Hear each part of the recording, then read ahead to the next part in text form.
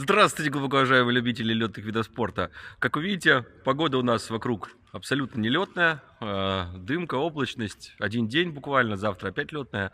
И я сегодня решил разобрать пипистрель.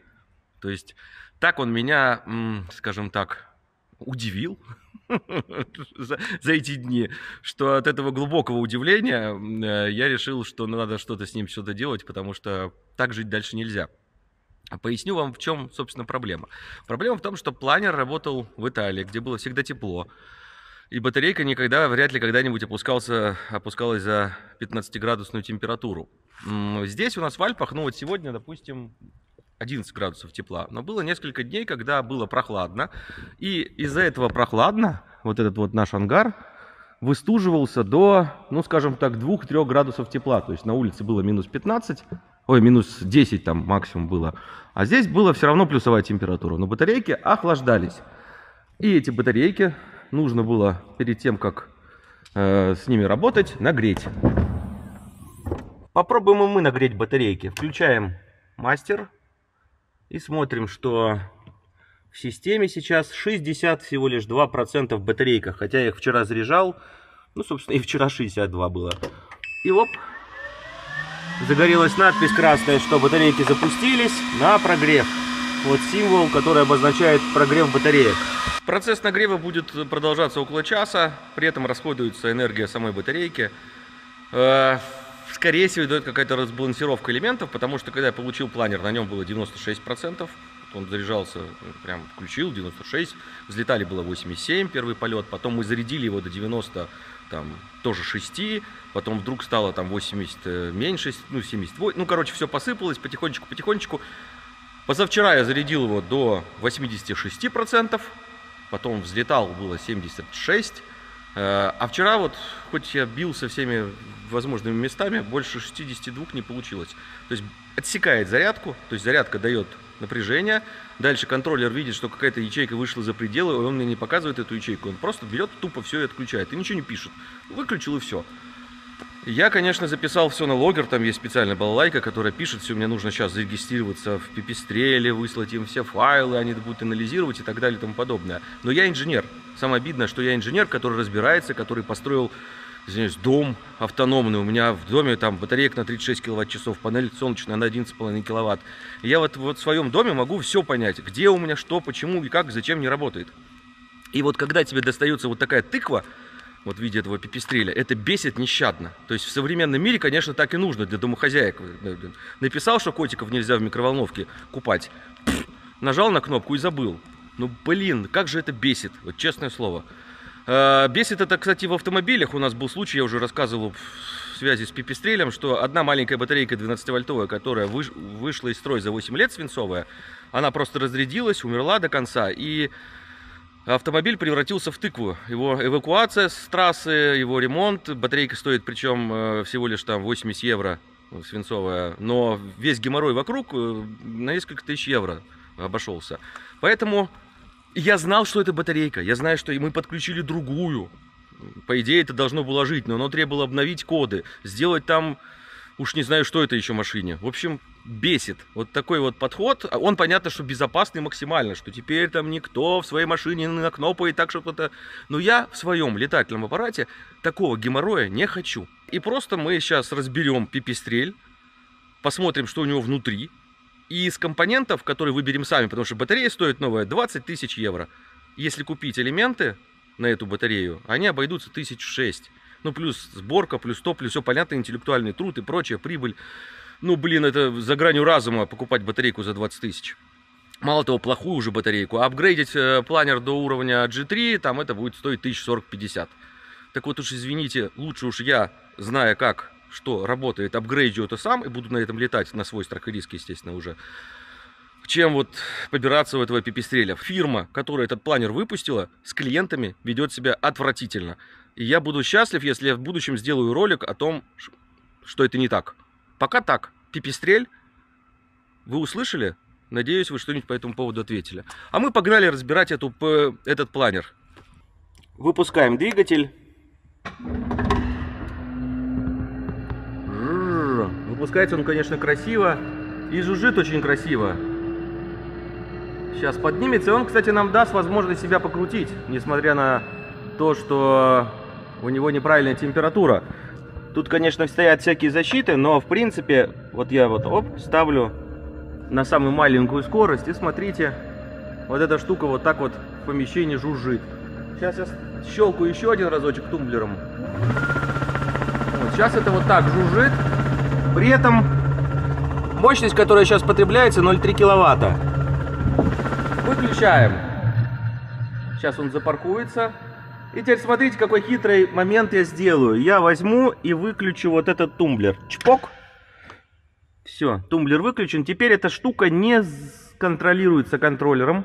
И мы можем этот винт уже крутить. Причем чудесно крутить. Смотрите, я сейчас его толкну, и сколько он будет вращаться. Оп! Видите? То есть легко вращается, то он элементарно. Соответственно, если в эту штуку запустить в полете на авторотацию, то бишь просто двигаться, набегающий поток воздуха будет заставлять этот винт авторотировать, то есть вот так вот вращаться. И, соответственно, при этой авторотации, если мы внесем какой-то элемент торможения, то мы начнем вырабатывать энергию. Это и будет рекуперация. Собственно, вся моя идея заключается в том, чтобы подзаряжать этот планер в полете. И это реально и можно. Точки крепления дверей достаточно силовые. Вот здесь цилиндр, который выпускает этот двигатель и убирает. И я уже посмотрел, что конструкция вполне выдержит э, набегающий поток. Чего я опасаюсь? Если винт будет авторотировать, он будет создавать достаточно большой тормозной момент, то есть вот так вот. Но штанга достаточно хорошо упирается, то есть работает элемент вот этот, который выдвинулся в этом случае нажатие. Нажатие, конечно, работа хуже, чем на растяжение. На растяжение он работает вот так. Но мы понимаем, что не 100 килограммов тяги мы будем с него снимать, потому что этот винт, когда он работает на полной мощности 35 киловатт, в принципе, дает около 100 килограммов тяги. Тормозной момент будет килограмм 20-30. И при этом будет вырабатываться, ну, пускай 1 киловатт электроэнергии. Этого мне хватит. То есть я смогу гонять по склонам и заряжать батарейку. Пробовать это никто не пробовал. Э, сколько энергии получится, никто не знает. Фирма Пипистрель на предложение, давайте мы на этом планере оттестируем такую штуку. Ну, просто добавьте в прошивку. Там нужно добавить всего лишь, что убрал в ноль, Винт крутится от набегающего потока и дает энергию в батарейку. А потом, если хочешь выключить, нажимаешь там еще одну кнопку «Убрать двигатель», «Включить тормоз». Тогда включается тормоз на парковку и убирается винт. Вот примерно так. Вот, работает. Чок. И теперь можно эту штуку убрать. Все. То есть поиграли в авторотацию, накачали энергии, потом убрали. Ой, там мой фонарик, ё-моё, стоп! Эть! Я надеюсь, винт не задел фонарик. Интересный момент. А в таком положении я могу сдвинуть? Ну-ка, оп. Пытается вернуть. А если так? Эть! Слушайте, кстати, ух ты ж, ё! Сильная хрень. Эть! Эть! Змеюка подколодная. Усилие, кстати, достаточно большое. То есть она прям... Ну, прям реально усилие прилагает, чтобы убрать. То есть тормоз работает очень хорошо. Значит, все получится. То есть, если вот такое усилие тормозное балалайка это развивает, значит, вполне себе авторотация возможна. Вот вам производитель двигателя со всеми его параметрами. Однако у пипистрели этот двигатель называется 4030 э, пипистрель. Ну, нечестно это, по крайней мере. Мне кажется, уж надо указывать, какие, из каких компонентов это собрано, чтобы можно было понимать, э, как это ремонтировать. И тем более, что этот планер по самой, самой идее это ультралайт. Тот, на котором пилот имеет право обслуживать этот летательный аппарат, а не фирма. Поэтому я, по идее, должен иметь документацию, по которой я смогу балалайку эту всю разобрать и собрать. Что мы будем снимать сегодня? Э, вот этот контроллер, выясним, кто же его делал, я надеюсь. И снимем эти аккумуляторы, посмотрим, какие внутри из них элементы и какая Battery Management System. Конструкция батареи на данный момент убогая. Это две батарейки по 150 вольт, соединенные последовательно. Соответственно, и заряжаются они зарядником тоже заряженные последовательно. У каждой своя БМС. Соответственно, где-то на какой-то из батареек напряжение больше, плюс на какой-то ячейке напряжение больше. Эту всю конструкцию отрубает на 280 вольтах, а максимум батарейки 302. И всего лишь 62% сейчас у меня в этом планере. То есть я еще могу летать чуть-чуть, но когда станет 50, я по закону, по реле этого планера взлетать уже не могу. Осталась капелька. Именно по этой причине я сейчас хочу разобрать, посмотреть, и переделать эту систему на две батарейки параллельных с напряжением 302 вольта. В этом случае будут ячейки по 30 ампер часов, соединенные все последовательно. Это схема 72 ячейки, э, последовательно каждую контролирует BMS, а каждой ячейке мне на телефон присылает лист э, BMS, который мы поставим. То есть все будет так, чтобы видеть все. Одна ячейка сдохла, хорошо перебираем батарею, например, или там ставим новую. Ну и новая батарея, извините, не будет стоить 9 тысяч евро. Там сейчас две батареи, там 19 с копейками тысяч евро. Надеюсь, что мы сделаем это дешевле. Соответственно, зная батарею, зная состояние, зная состояние ячеек, можно прогнозировать полеты и не бояться. Плюс современные элементы, которые по 30 ампер часов, у них очень низкое уже внутреннее сопротивление. И если пипестрель сейчас на модели этого года сделал водяное охлаждение, ну, по сути, потому что они скопировали это водяное охлаждение со своего там самолета пипестрелевского, так легче унифицировать разные элементы. Но городить здесь, в планере, который расходует батарейку недолго, водяное охлаждение, ну, мне кажется, совершенно нерациональным. То есть достаточно воздушного, нужно на взлет э, там 30 секунд полную мощность, дальше ты трактишь до ближайшего потока, встаешь в него и набираешь. Все. То есть трахтеть можно, вот как я показал на этом, на 20 киловаттах. А на 20 киловаттах современные ячейки и греться не будут. То есть время, за которое на даже 30 киловаттах нагреется батарейка, 40 минут. То есть 40 минут нужно, тогда она быстрее разрядится. Именно по этой причине хочется сделать по-человечески. Понятно, что на этом волшебном пути мы столкнемся с массой э, приключений всевозможных, но мы же сделали электрическую лебедку. Она работает, она делает рекуперацию, она заряжает батарейку. Я когда ехал в Литву, я тупо забыл зарядное устройство здесь во Франции. И мы, разматывая трос под нагрузкой, сматывая без нагрузки, зарядили батарейку до полного уровня и затянули планер э, маленькой лебедочкой, затянули классный легкий планировочек. Цепляем мне замок. Я, конечно, себя еще никогда по телефону не запускал. В прямом эфире взлетаем. Давайте. О, поехала. По чуть-чуть, Потихонечку да. едет, сейчас начнет разогна- разгоняться. Так. Вот, ой, пошло, пошло. Ох ты ж ее, мама ты дорога. Ой, я лечу. Класс, все отлично. Друзья, это есть 80 километров в час дает. Охренеть! Больше скороподъемность на пределе. Держу 70-80. Высота растет со страшной силой. Угол вы можете оценить, посмотрите. Какой угол тангажа. 250 метров. Скорость начинает расти. Увеличиваю тангаж. Скорость начинает падать, уменьшаю тангаж. Это же лебедка электрическая, она тягу точно-точно держит. Вот эта высота 300 метров. Хорошо. Очень хорошо. Да?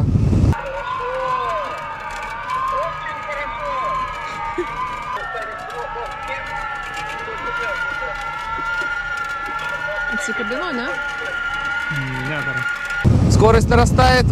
Тангаж держу. Видите, сейчас не могу, тянет в но- нос вниз. Буду отцепляться уже. Сейчас должны, по идее, тягу сбросить мне. Дергаю, оп. Есть отцепка. Ну и смотрим, как там внизу парашютик полетел. Затяжка с электролебедки на планере деревянном. На парапланерной электролебедке затянули планер. И наша электрическая лебедка, она позволяет батарею заряжать, делать рекуперацию, в батарею засовывать все. Там разряжать, ну, короче, делаешь, что хочешь. Друзья, как это выглядит? Посмотрите, сейчас 900 ватт вкачивается в батарейку, потому что батарейка у нас пустая. Ну, не пустая, в ней не очень много энергии, 39% всего лишь. Вот разматывается трос, я поставил усилие на тросе 69 килограммов. И вот выматывается. Машина сейчас разматывает и заряжает, чтобы мы сделать могли полетик. Вот такая хитрая штука. Я, о, зажужжал вентилятор, потому что контроллер вкачивает все в батарейку, соответственно, из-за этого греется. то сейчас вот это вот большой генератор энергии. 4, почти 4 киловатта грузится в лебедку за счет того, что очень быстро едет машина. 90 килограмм стоит тяга, 47-48% батарейка. То есть, грубо говоря, мы батарейку сейчас заряжаем даже, то есть мы не расходуем ее, трос разматываем под нагрузкой. Из-за этого э, батарейка только больше и больше. Вечный двигатель практически. То есть мы это можем. Мы, там несколько человек, кто вот, ну, я, Кирилл, мой друг, занимается, Денис, э, мы можем это сделать. А тут большая, блин, фирма, ну, он понятно, что она ограничена кучей вот этих вот сертификаций, ЯСа, все дела, там каждый хрен из горы э, смотрит. Но вот это э, эффект, почему, например, у того же Маска и его машинок получилось что-то, а огромные автогиганты долго там э, и ничего хорошего так и не сделали. Это именно причина молодой, яркой фирмы. Причем я фирмы никакой становиться не хочу. Мак- Максимум, что мы сделаем, мы предложим всем владельцам электропипистрели комплекты на замену.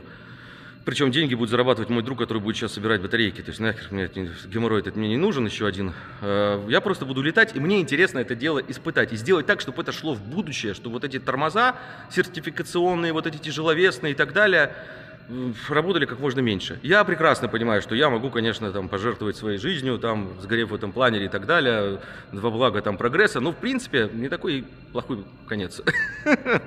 Мы за светлое будущее. Братья, рад привет. О, есть. Надо было нажать до конца и все. Теперь, по идее, вот здесь вот на батарее есть 150 вольт. Вот это вот совсем мне не хочется туда лапа лезть. Надо ее закрыть какой-нибудь изоленточкой. А, кстати, я ее сейчас скотчем прикрою. И будет чудесненько. Будет надежно и практично. Мне кажется, скотч это самый правильный инструмент при работе. Следующая фаза. Вот этот разъемчик. Оп, они прикручены на болтики. Все достаточно надежно. Здесь я тоже все открутил. Оп. Все, теперь батарея уже полностью отсоединена от борта планера. Крепление закрывает такая заглушечка, напечатана на 3D принтере. Шестигранничек на болтике, я его открутил. Сейчас на себя раз, оп, все, снял. Да, здесь под шестигранник, а снизу гайка на 13. Сейчас открутим. Самое главное в такой ситуации, чтобы все болтики, все винтики, все крышечки были на своем месте и разложены левая слева, правая справа. Вот я возьму туда под хвост, аккуратненько их отложу. Все. Крышку оказалось удобно отсоединять большой отверткой. Щелочку просунул, чпунь, отодрал. Ну, Вот открылись вентиляторы. Зачем этот обтекатель нужен? Он выдувает вот сюда, вот, в этот район э, воздух горячий. И, соответственно, этот воздух весь уносит потоком. А вот этот дефлектор э, подает воздух горячий как раз внутрь, вот, на инвертор. Самое главное, чтобы охлаждался еще хорошо инвертор. Батарея снялась просто. Сначала я думал, что придется вот, вот этот вот высоковольтный коммутатор снимать, но оказалось, что это не нужно. Вот как выглядит ее чудо. Как оно монтировалось, планер, так оно и вынулось. Смотрим, что здесь есть. Вот эти передние точки крепления. Да, должно заехать и зафиксироваться. Это у нас воздухозабор. Для того, чтобы как раз батарея продувалась воздухом. Куча болтиков. Я считаю, что почему благородному Дону не взять и не вскрыть эту батарею. Собственно, ради всего этого и начиналось. Что надписей здесь немного. Station никогда не открывайте, вас угробит сразу. Хай вольтаж, все дела. Никаких больше информационной надписей нет. Значит, надо открывать. Задача безопасный аккумулятор сделать непростая. Литий-феррум технология, она и в домах используется для домашних накопителей энергии. Вот это ставить, что домой страшно, что, честно говоря, в планер страшно, и в мотоцикл страшно. Ну, мотоцикл можно, там особо гореть нечему. А вот представляете, если здесь летим мы летим, загорается вот тут вот сзади.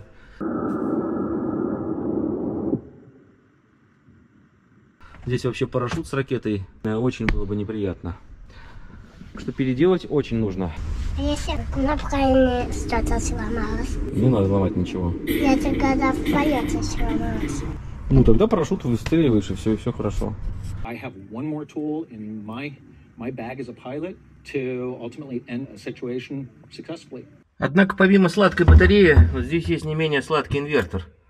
Мне крайне важно понять, что это за модель, потому что Пипистрель скрывает производителя этого инвертора. А он явно не их производство. Поэтому хочу открутить и посмотреть, нет ли где-то шильдиков, которые они умудрились не оторвать. Так что демонтирую еще и инвертор.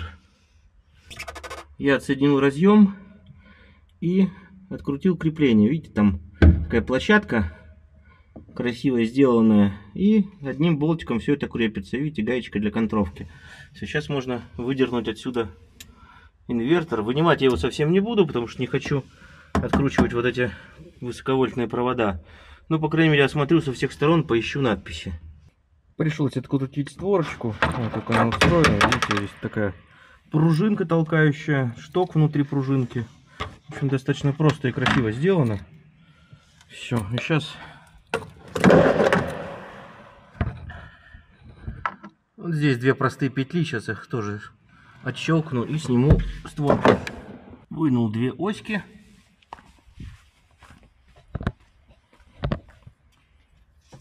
И, как вы видите, створочка снялась. Она легенькая, может быть, может быть полкилограмма, ну, килограмм грамм 600, наверное, весит. И, конечно, у пипистреля качество комплектующих потрясающее. Видите, здесь резинка остается, я ее просто вдоль этого борта свешу. Все, створка висит, мне больше не мешает. И теперь я могу прям лезть и лезть сюда. И даже на камере уже вижу, что мне нужно крутить. Как вы видите, отсоединил я инвертор. Такое же крепление, как впереди, оказалось и сзади. Вот, собственно, точка, куда болтик закручивается. Легко открутить было, когда створки нет. Ничего сложного, но никаких надписей я не наблюдаю. Мне казалось, что вот на этом бортике будет надпись. Здесь тоже надписи нет.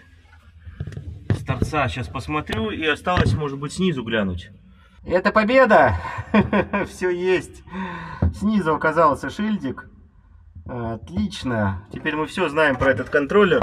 Эгей! Ну, я очень доволен, что мы нашли э, контроллер, потому что по модели мы вычислим производителя и спишемся с производителем на предмет э, всех наших хотелок. Контроллер этот идеально подходит под э, пипистрель, потому что воздушного охлаждения, то есть я на воду не хочу ни в коем разе переходить. Это, конечно, модная тенденция для самолетной техники, очень, наверное, надежная, но, блин, еще в водичку водить, этот тосол вытечет, еще чего-нибудь. В общем, не хочу я такого геморроя, тем более, что вот чем лучше батарейки становятся, тем у них больше емкость, тем относительно этой емкости токи падают, ну, то есть ток, который нагревает эту батарейку, если ты сделаешь батарейку в два раза более емкую, то греться она станет не в два раза меньше, а в четыре. Вот. Что мы, собственно, и хотим сделать на новых элементах, добиться того, чтобы с воздушным охлаждением, можно практически без охлаждения, работало прекрасно. А эта батарейка, похоже, кабельный век. Мы ее сейчас тоже разберем. Вес батарейки 35,7 килограмма. Какой вес, интересно, у меня? Не может быть. 91 килограмм. Кошмар. Только же недавно весил, после, перед Новым годом весил 89. Вот это что, что Новый год делает? Кошмар. Ладно, новость хорошая, похудеть-то я похудею. Главное, что батарейка 35 килограмм, я думаю, мы с этим же весом, а то и меньше, сделаем батарейку емкостью в полтора раза больше. То есть сейчас батарея 40 ампер часов, а у нас будет 60. Хе-хей! Ну что ж. Погнали откручивать. Видите? Сейчас сниму крышку, а там видно будет.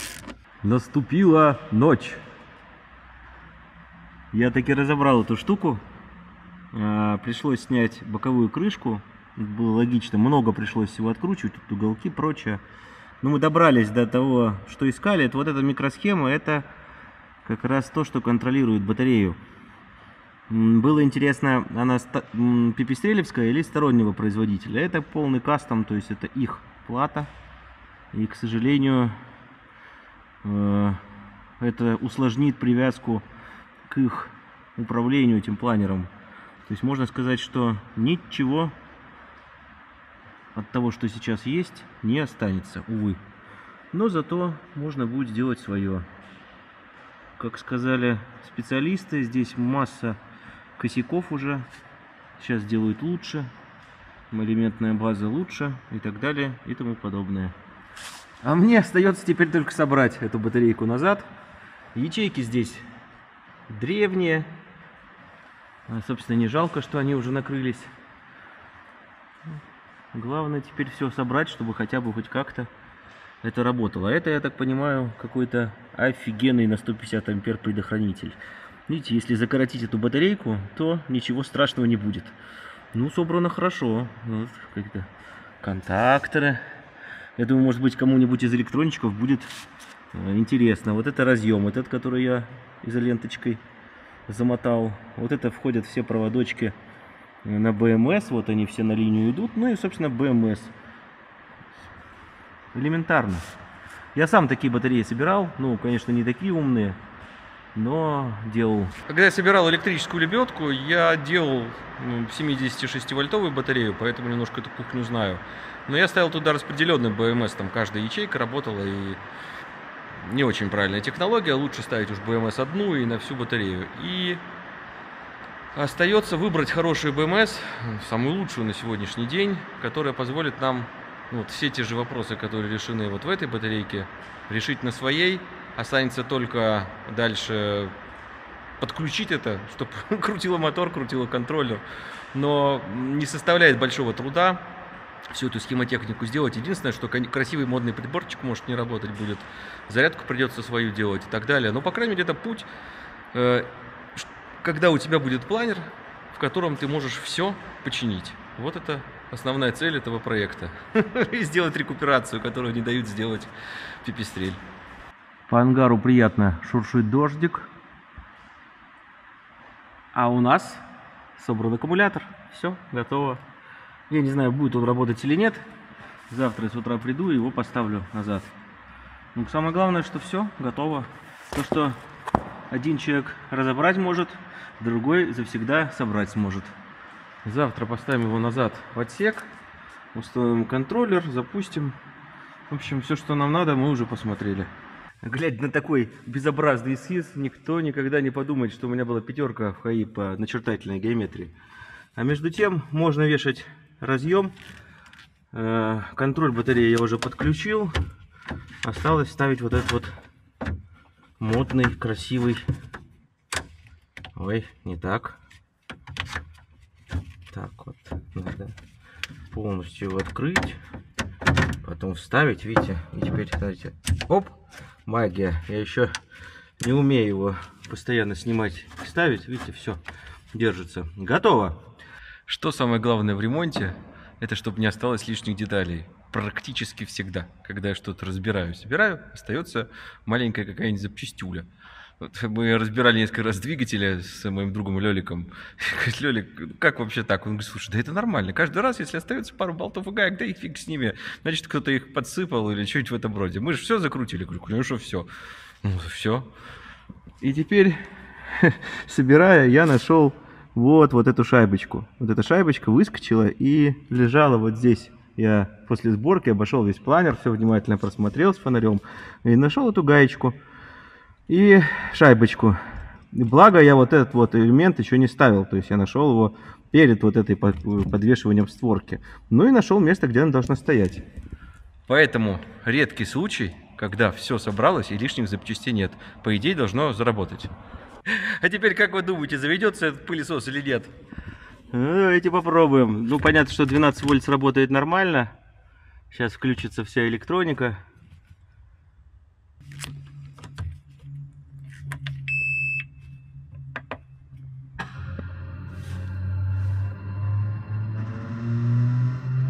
Вот это такой звук, как будто кто-то взлетает. Интересно, откуда он? такой какой интересный, а? Ну прям на взлет идет. Источник звука двигатель, друзья. Вот это у, -у, -у оказывается движок. И, кстати, что интересно, видите, какая дикая влажность на улице? А вот чем покрылся моторчик. Он покрылся капельками росы.